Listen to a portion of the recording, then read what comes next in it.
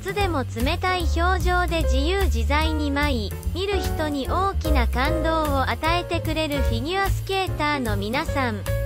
今年の夏も暑いですがリンクサイドでスケーターの皆さんの姿をご覧になっているかのように一緒に涼んでみませんか？今回はアイスダンス編です。